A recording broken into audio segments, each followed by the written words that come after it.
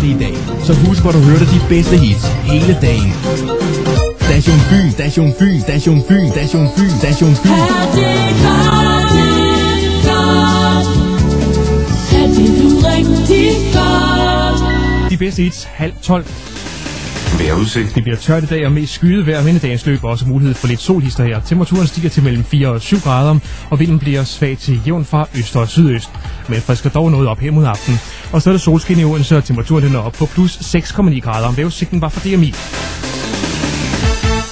Station Fyn er Fyns mest populære radiostation, fordi vi sender mere af det, du vil have. Nyheder, service, quiz, de bedste hits.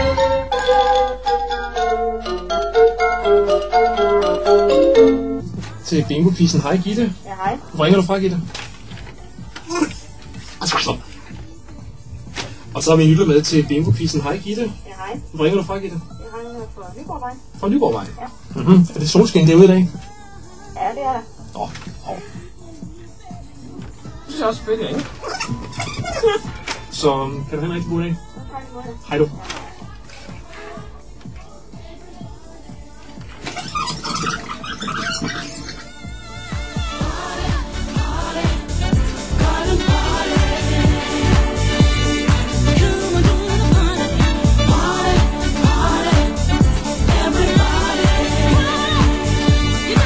Altså Garden Party Remix af det gamle Mason Fortenor, som du kan vinde i eftermiddag mellem 15 og 17. Det er nemlig Powerplay denne uge på Station Fyn. Og bingopakkerne, de kommer lige pludselig med posten.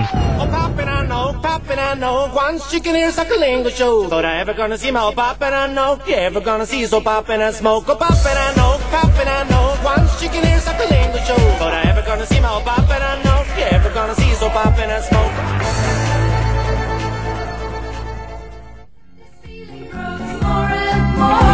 Og så har vi en lytter med til bingo-quizzen. Hej Gitte. Hej. Hvor ringer du fra, Gitte? Jeg ringer fra Nyborgvej. Fra Nyborgvej.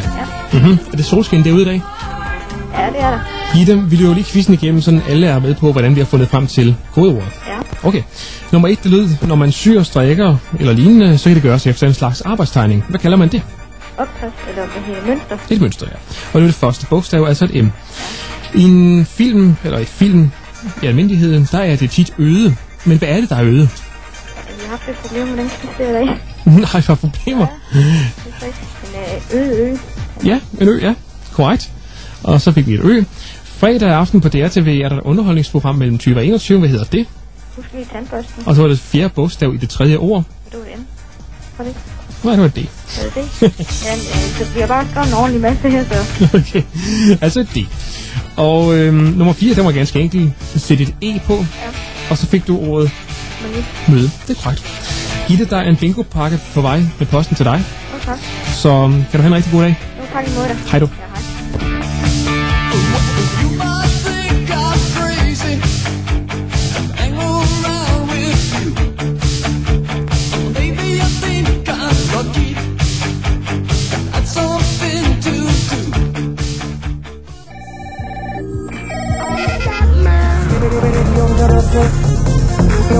Det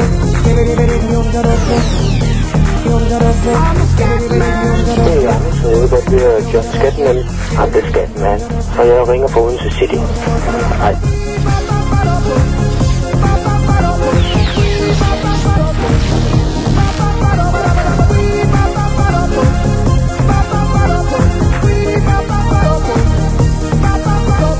Producenten bag de amerikanske tv-serier Melrose Place og Beverly Hills 90210, Aaron Spelling, er i gang med produktionen af en ny serie for unge. Den nye serie hedder Savannah og handler om fire unge sydstatsskønheder, der forsøger at klare sig i New York. Optagelserne af pilotafsnittene slutter i marts måned. Station Fyn, vi spiller de bedste hits på 103,5 MHz, hybriden er 93,8 i Bogense på 90,3 MHz, i Taro på 97,5 Søhus på 102,9 MHz. I studiet godt Team nu er John G. Pedersen, her med Margot og Tears Don't Lie.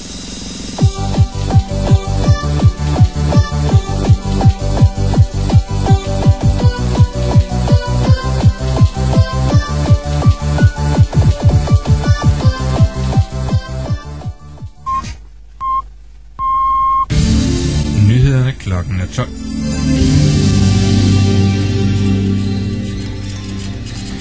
Nu skulle det være ganske vist. Fyn får skiltet hastighedskontrol på hovedveje og i landsbyerne.